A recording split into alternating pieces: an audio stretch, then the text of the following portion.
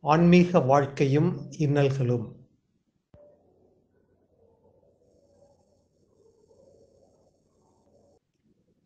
உண்மையான நேர்மையான ஆர்வத்துடன் நீ ஆன்மீக வாழ்க்கையில் நுழையும் போது சில சமயம் விரும்பத்தகாத பல நிகழ்ச்சிகள் உன்மேல் படையெடுப்பதுண்டு. மிக நெருங்கிய நண்பர்களுடன் சச்சரவு நேர்ந்துவிடும். உன் குடும்பத்தினர் உன்னை வீட்டை விட்டு துரத்தி விடுவார்கள். நீ பெரிதாக கருதி ஈட்டியவைகளை இழந்துவிட நேரிடும். எனக்கு தெரிந்த ஒருவர் யோகத்திலும் ஞானத்திலும் முன்னேறி இருந்த ஒருவர் பெரும் ஆர்வத்துடன் இந்தியாவிற்கு புறப்பட்டு வந்தார். வெகு காலம் முன் நிகழ்ந்தது இது. அந்த காலத்தில் மக்கள் கடியார சங்கிலி சிறிய நகைகள் முதலியவற்றை தங்கள் சட்டையில் அணிந்து கொள்வது வழக்கம்.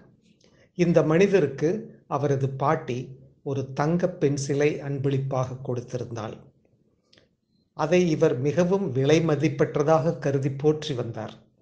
தம்முடைய கடிகார சங்கிலியில் அந்த பென்சிலை கோர்த்து வைத்து கொண்டிருந்தார். இந்தியாவுக்கு புறப்பட்டு வந்த அவர் ஏதோ ஒரு துறைமுகத்தில் இறங்கினார். கொழும்பு என்று நினைக்கிறேன். ஆமாம் கொழும்புதான். கப்பலிலிருந்து சிறு படகுகளில் இறங்குவார்கள். அந்த படகுகள் அவர்களை கரைக்கு கொண்டு வந்து சேர்க்கும். இந்த மனிதர் கப்பலின் இடைவழியிலிருந்து படகில் குதித்தார். அப்போது கால் இடறியது. எப்படியோ சமாளித்து கொண்டார். இந்த சிறு அதிர்ச்சியில் அவருடைய தங்க பென்சில் தவறி கடலில் விழுந்து விட்டது. முதலில் அவர் மிகவும் வேதனைப்பட்டார். ஆனால் பிறகு தனக்குத்தானே சொல்லிக்கொண்டார் அதனால் என்ன? இதுதானே இந்தியாவின் மகிமை? என் பாச பந்தங்களிலிருந்து எனக்கு விடுதலை கிடைத்துவிட்டது.